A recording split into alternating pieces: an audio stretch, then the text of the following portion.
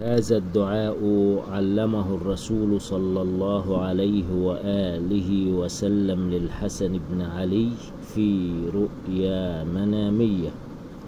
كان معاوية أخر راتب الحسن بن علي من الخمس المعد لآل بيت رسول الله صلى الله عليه وآله وسلم من بيت المال فضاق الحسن بن علي بذلك إضاقة شديدة.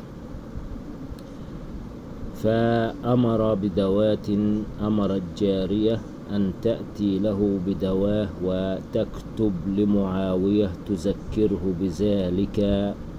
ثم نام أو أغفى إغفاءة فرأى رسول الله صلى الله عليه وآله وسلم فقال له كيف حالك يا بني؟ قال له بخير يا جدي.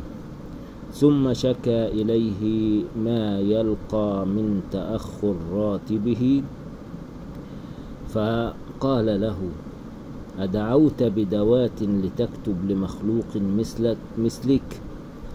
قال وماذا أفعل يا جدي؟ قال قل اللهم اقذف في قلبي رجاءك واقطع رجائي عمن سواك حتى لا أرجو أحدا غيرك.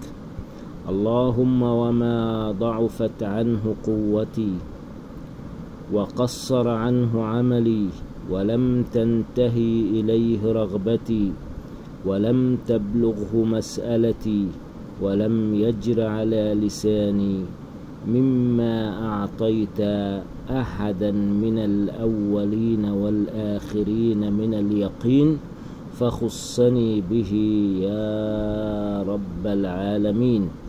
وصل اللهم على سيدنا محمد وآله والحمد لله رب العالمين.